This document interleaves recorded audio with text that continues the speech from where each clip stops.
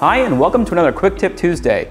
Today we're going to talk about the connector options for your Journey SEG displays. Let's dive in. So here we have the 180 connector option. This is used to link two or more Journey SEG displays side by side, sort of creating a Journey back wall, if you will. Next, we have the 90 degree connector.